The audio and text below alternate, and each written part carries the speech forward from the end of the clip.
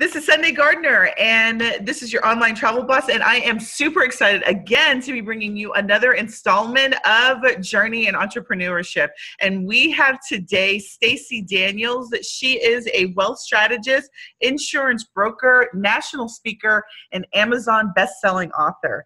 And before we get and we meet Stacie fully, what I wanted to say is everybody's journey is different, and I am just so excited to have Stacie here because she is going to like pour into us tips and recommendations for how to make that leap into entrepreneurship. And as always, if you feel that this information is useful, go ahead and share it. And with that, Stacie, thank you for being here. I'm so happy to have you. thank you, thank you, thank you for having me. I was just telling you before we hit record that it's my passion, it's um, it's my skill set, it's my gift, um, and it's also my my story to help people learn about their finances and be better positioned to do what they want what they're wanting. Some people want to be millionaires, some people just want to be comfortable, but we still have to know strategically how we're going to get there. So I'm grateful that you have invited me to talk to people, aspiring entrepreneurs, when it's so, um, that's such a, how do I want to describe it? A, um, a sensitive area. You know, I want to help. I want to do this, but I'm not quite sure how. Where it's it's overwhelming. It's so many different directions. Right. Squirrel, like I don't know. I want to do this. I want to do that. You know what I mean? And so we really do need to have some guidance, especially when it comes to our money. And so thank you, thank you for trusting me to come out and speak. I appreciate you being here. So let's start with how long have you been an entrepreneur? I've been an entrepreneur since 2008. Actually. Okay. Yes. Um, I started off face to face. I wasn't online. I transitioned my business online in 2017. Um, and I was like, ooh, I can sell. I have the gift of gab. I have a passion. I have a story to tell. People like stories, right? And come to find out that that was not what was needed to transition my business online. So some of the tips that I'm talking about today, I had to learn on my own. It was very humbling. It's a whole different world when you're not when you don't have that body language and that that nice little touch. You know, when you're face to face, you have to find other ways to stand out and to gain someone's trust um, online. So. That's so true because I similarly started too with the physical business, and that transition for online was a big slap in the face. So it's certainly not the same thing. So, what made you decide to jump into your physical business and then also transition into the online space? Oh wow. Um, you know, money was not a story or not a conversation we had growing up. I knew that I was going to college and I knew that sex was for grown married mature adults, even though I had a child. you know, I just had my mother is 40 years older than me and she was raised in the South. And so I'm from the Midwest, but there's a lot of these traditions that I already knew and was instilled in me. Be mannerable and don't go to people's house hungry and things of that nature. You know, don't yes, yes, yes. I always eat before I go to someone's house still. Yes. I'm 46 and I still do that make sure you're the one that speak. All these different little nuances that I knew that I needed to follow in order to be the lady that my mother was raising me to be. But she did not talk to me about money. And mm-hmm. that's okay. You know, that she that was something that she wasn't aware of. If you're not taught, you can't share it. And that's okay. I learned though from a 46 credit score, bankruptcy, defaulted student loans, repossessed vehicles, and a check system file um, that wow, this might be something I need to learn a bachelor's degree in computer science as a programmer did not mean that I would efficiently know how to manage my money. So I created the the um, statement, and I like to say it all the time personal finance is not common sense. And effective money management is a skill that must be learned. So I want you guys to take yourself, give yourself a break, um, and let yourself off the hook because we feel like just because I've been successful in, in other areas of my life, I'm supposed to automatically know, how to, know how to do this. If you didn't, if you weren't taught these strategic rules and routines and these powerful but hidden money rules, then you won't know. And so that took me a long time to learn. And once I got past all of the ego and the pride, and I was actually willing and able to ask for some help, then I realized as I was sitting down in front of people, they don't know as well. Um, you know, I'm trying to help you with a life insurance policy and, and tell you about protecting your future, but they don't know how to manage their money monthly um, effectively either. And I'm like, wow, it's so much further back than just a life insurance policy. If you don't have money or you, you have the money, because you make a ninety thousand dollar salary, but if your your bills and your debts and your emotional spending is eighty thousand dollars, you're still just as broke as anybody else. Amen. Um, Amen. And so um, when I started realizing, as soon as there was a shift in their income, they would cancel their insurance policy, and I was like, "Wow, we need to take a couple steps back you know they realize the value but they can't afford it because of other things. So that's when i created the motivating money academy and it kind of went from there. As much as i learned and i spoke and i received awards and accolades for being able to um, help so many different families and and writing all these policies and, and you know creating different um, avenues for them working in churches and, and things. And i was like you know what? This is my calling. I now realize why i went through the financial um, transitions that I went through so that I can relate. And then this whole gift of gab gift that God has given feel comfortable early on in our interaction. So I share my stories and my experience and my strengths and my failures, and I'm transparent. And they like, wow, I've been through the divorce. I've been through this. Yeah. I've been that and and so they are able to just purge all of that. And now i'm like that's fine. Thank you for sharing. Now here's the steps that we need here's to take. how do we get better? Yeah. Yeah and so i love talking to computers. I'm still a techie at heart but I realized that I'm better and more effective talking to people. And so that's why I transitioned my business online in 2017. I was like, oh, I can help people and use the computer. That's right. Like, so you got the best of both worlds, right? So, like, I get to be in front of my computer and solve some issues that I know I'm going to have technically. Yes. And I get to show so, my face in front of all these people that I wouldn't be able to meet face to face. I think that's, that's I wanted to affect change on a larger scale, and that's yeah. how I became internationally known. I'm like, wow, you know, this is awesome. Not just it's like a rap song, internationally known, motivating money. I love that. it wasn't on purpose. That just kind of came out. I like it though. um, but yes, I have clients in um, New Zealand. I have clients in Africa. I have clients all over, but um, in London. Um, so, but I realized that all of that, everything that I went through was so that I can help people, reach people, um, and explain to them how just because no matter where you've been, no matter what you've been through, um, no matter where you are right now, you still have a chance to reach financial freedom. And that was after, again, I had to learn okay, Stacie, just because you know this and you've done that for several years, let's sit back and learn how to do this correctly. And, yep. and that's where I'm at now. So.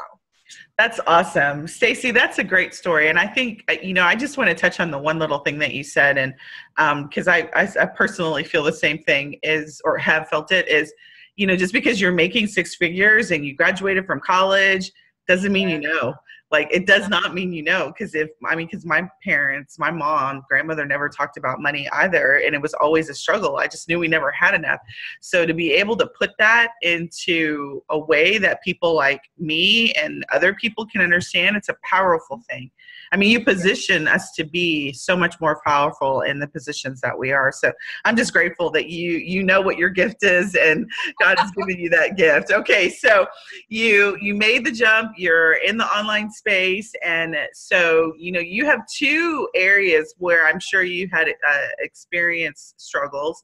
So talk about three of your struggles or major lessons learned that you had when you first started your business. Okay, so when I became an entrepreneur, I was scared because it's commission only as a, life mm. insurance agent. It's commission only, and I was like, you know, okay, so the, I went to sell. right. I, first of all, I hadn't really been into selling, but to sell something that doesn't even tangibly exist. Yes. I didn't even have a life insurance policy at first. I just mm-hmm. believed in it and I saw the money. And I was a single parent in a whole different region of the country.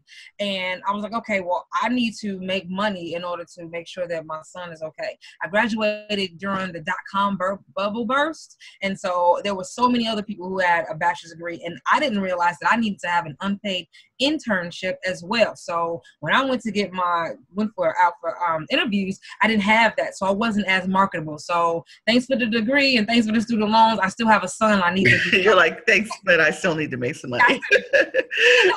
my baby needs so money. I was at home tinkering on my own computer and friends' computers, but I wasn't making a salary. And so yeah. I went to the interview, and it was an insurance um, company. And so I was like, wow, okay, this is a lot of money, and I can do this. And I was fearful, but I felt like I believed in it. I can do it. Great. What I'll say about that is the tip that I want to give to all aspiring entrepreneurs it's wonderful to have a passion and have a dream of I'll be able to help so many people because I believe in this and never let anybody um, deter you from doing that. However, to make that, that road from idea to success less um, hard, less hard and short. less hard and shorter. Find something that you're good at. Identify what your strengths are, identify what your gifts are, and then identify what people are needing or they're already buying. So that's two lists. That's actually something I just sent out today for my midweek money minute.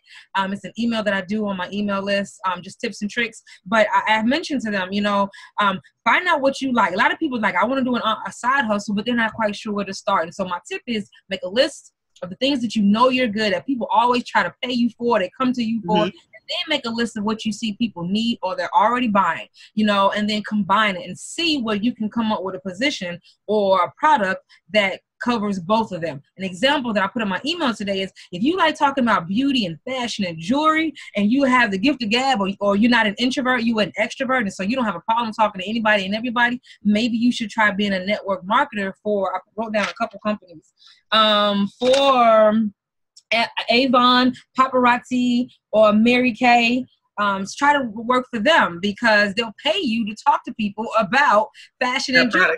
That's right. Yeah, That's that right. might not be something that you want to do long term, but it'll put money in your pocket. So that means it's giving you a seed that you can now invest into the the vision or the passion that you have. I love um, that be married at the time and so he was taking care of our finances at home while i was trying to learn the ropes of what's the right way to, to do the policy or the right way to do the, the um, call and make an appointment. I was cold calling you know mm-hmm. door knocking and all of those different types of things. So that um, learning curve i had someone that had my back. But you know after a while he wasn't wanting to support me. So it was a struggle at home because he was like you just need to get a job you know, most people who are get a real job, like you know, real. make some money sometime, but you know that feast and famine, and yeah. so that just gave me more of a resolve that I was gonna. I'm not a person. I don't like failure, and I'm a hashtag reform overachiever. So I was like, I'm gonna get this. I never put too much time in it. I could do it, you know. And so that just made me go harder. But I wish I would have had that tip to just do something that I'm good at first find a need, and that'll give me some of the money. So that will relieve some of the pressure and some of the conflict at home until I was able to be more successful as an entrepreneur selling I think that's a great tip. I think that's great. Okay, so you um you know that's a that's an amazing tip for people to be able to leverage in you know as you're thinking about becoming an entrepreneur um even if you're thinking about going into the travel space. So any other tips that you want to share before I go to the next one? Um, no. Okay. All right. So now you've been doing it and you've been doing it since 2008, 2000, you said 16 for the online part, right? 17. 17. And so, you know, my audience is people who are either they've launched and they've started a travel business and they need to up level or they're about to launch what tips or recommendations would you have for somebody who is thinking about launching above what you've just said um, and they've never done it before. Like they've never done it before. Well mm-hmm. um, you know there's a i have a, freebie that i want to give you guys and it, i'm going to explain it a little bit and then i'll make sure that she puts the link in the um comment in the description section for you guys. Perfect. But what it is is um whether you are getting ready to leap, maybe you have a full-time job and you're like, you know what, 2019, I hear is the year of entrepreneur. I want, I have dreams and aspirations. I can do it too. Or if you already leaped and you like, okay, I'm making some money, I'm in feast and famine, and there's just no system or process to the money. I need it to be more um, regular. I need to read. Um, um, what's the word that just eluded me? I need to um, consistent flow. Make more consistent. Yes. Um, regulate. That's the word I was looking for. I need to regulate my, my finances and my expenses and my emotional spending so that I can live what, you know, making money and spending things that I want and pay the necessary and save for my future. And if you're an entrepreneur, you need to fund your own retirement as well, right? So yep. I need to have a more consistent income and savings of my money and leads that's going to turn to income. So what can I do? I suggest there are four different areas and I, I call this, are you financially prepared to be an entrepreneur? Um, and you know, most of us aren't, and we don't think about that. You know, 50% of business fail within the first two years, and it's due to cash flow problems. Not mm-hmm. because you're not making enough money, but you don't have it readily available when you need. And That's so you try to go in debt, you go get credit, you get business loans. So, what can I do to make sure I have these strategic pillars in place so that I always have money coming in, customers coming in, and I'm putting my money where it needs to be. So there are four areas. Get your pen. Get your pen. Get your pens. Um, you can watch the replay. so the first one is mindset. You know, as an uh, as an employee, we kind of get comfortable. I don't really like this job. I'm gonna go in and I'm gonna have work. But long as I come in and I'm on time and I don't start any problems, you know what I mean? I know I'm gonna get in two weeks. That's a ruckus. They'll still give me my check. they still gonna pay me. I might not like how much I'm making, but I'm gonna get paid. You know what I mean? So we plan in two, three months in advance, calculating I'm gonna take fifty dollars out of here. You know, um, so I can go to this trip. We planning that because it's kind of a surety. As long as I show up, you know what I mean. Unless something major happens. Um, well, that's not the same thing when it comes to um, as you're an entrepreneur we need to have some discipline. We need to set some hours at work when you're working. Don't be like, uh, I'm telling you from experience. I tried to work in my bed on my laptop, and I'm telling you, before about three hours, I might give you good three hours, and that laptop is closed, and I'm pulling the cover up and I'm flipping on TV. off. And then the next day, I'm like, man, I needed to do this because today I need to finish that. Yeah. so, um, have the mindset check. You know, there's a different, there's a major shift between being an, on, an employee and an entrepreneur. That's right. Second one is your personal finances. Have an understanding, a clear picture of what your um, variable expenses are and your expenses that won't change. Yes, we need to know that. And then whatever they are, then you need to um, have that money in an account for six months. And if you're an employee, then you can say, okay, well, um, these are this is how much it takes to run my house my light and phone and gas and my leisure expenses that I like those twos and fews, those lattes or whatever, those movie theaters, the kids like to do Starbucks. You know, this is how I on a monthly basis. So I need to have this for six months, four to six months at least, bare minimum. Um, just your for that's usually how long it takes for your business to kick in and be regularly bringing in customers and and referrals and such. And also by the time you have a clear understanding of how to run your back office you know? Yes. so um, that's so true. my expenses um for my business and for my personal so that's three and four. So one is my mindset. Work on some different questions. Realize what your strengths and your weaknesses are. What are your spending tendencies? You know, um, where you may be lazy when it comes to things that you need not to be, because it will directly affect your um, your business when you become an entrepreneur. And personal finance. Know what my expenses are, my overhead, and things I like to spend on. And the same thing for your business. Do you have a domain charge? Do you have an auto responder cost? You know, things of that nature. Do you have? Do you pay for contractors like Fiverr to purchase graphics mm-hmm. and such. You know, whatever that you're spending on a monthly basis, know what that is, and then have that for six months. Put it in an account. And then um, the last one, guys, which I think is the most important, and the secret is the secret to entrepreneurship. We're like leaning in. I know. Yes, you see me. I mean, I like the way you leaned in. I'm leaning in. What, girl? Tell me. entrepreneurship is our relationships. That's a good one. I can't do it all. I shouldn't try to do it all, but we do. And I don't know mm-hmm. why we do. We superwoman and we superman, and it's my baby, it's my business, and it's my money. Mm-hmm. I don't know what it is. So that means it's my struggle. that is my business, my and my money. you know, so that means you owning all of it, the struggle, the fail, the you know. So why not? You know, we've learned from so many different people how to do so many different things. Let's go ahead and find someone that we like, know, and trust um, and get some guidance on where we can do this and where we can do that and rub elbows with them. But you have to make it, you know, like I'm not saying tell somebody, show me how you run your business, how you created it all. Spend your time with me and help me build up. Make it mutually beneficial. You know, so right. find you some power partners. You know, your clients came to you after they went somewhere else. And after they go to you, they're going to go to somebody else. So maybe rub elbows with the people that they're going to go to before you and the people that are going to go to after you so they can start sending you their clients. You know, when they mention something like I'm a wealth strategist, when they mention to somebody that's asking, how can I um, have guaranteed paychecks and paychecks when I retire that's tax free and it's monthly? You know, I'm an entrepreneur and I don't know how to set my money up, but I don't want to have to pay taxes and I don't want to have to worry about market risk. So I don't want to put my money in like a 401k or a 403b or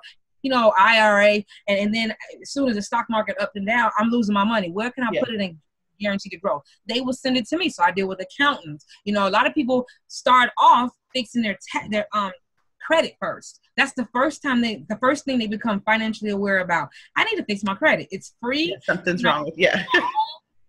the law is on my side. It doesn't take that long. You know, I really do have all of the power. Let me start worrying about fixing my credit. And then after that, they say, oh, well, I want to do more now. So their next step is usually coming to me. How do I build a business? How do I, because I, I, help um, Gen X females monetize themselves, master personal finance, and um, be positioned to mon- to maximize on their retirement options. So they come to me for the middle of the road before you go to the investment side of things. Yep. So I have relationships with credit specialists, tax specialists. They'll fix your taxes, but they can't help you start your business and all of that. So they come to yep. me for that. And so that's what I suggest. That's the fourth thing. Build up your relationships with different people who can feed you. Imagine if you had 10 people that you were rubbing elbows with. You're sending them people, they're sending you people. You might even have a package that if you go to that person, they give you a you you get a if you get I have an accountant, and if you go to that person to fix your business, she'll give you 20% off of her fee or something like that so that it's yes. mutually beneficial.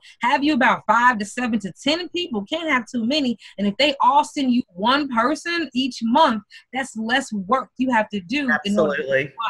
that person is going to talk you up. They're already going to sell you. You that's know, right. so by the time they call you, they probably know your prices. They already know some testimonials. You know what I mean? That's you just right. not mess it up at that point. So if you can get that those clients coming in through building those relationships, then that's half the battle. Have your money in order. So I don't have to do all of the hustle to bring in money because I have friends bringing me bringing me clients. And then when I make my money, I already strategically know how to put it in different places because I I have a complete picture of where my money goes and where it needs to go, how I make it, how I'm spending it. And yeah. I have a mindset of even though I have things going on at home or I have a tummy ache, unless it's an emergency, I need to be in my business doing certain things. So those That's right. are is what I suggest um, we all have a good hold of. Um, whether you're getting ready to jump into entrepreneurship or you already have, you just want to get off that hustle reel. So, yeah, you want to get off that wheel.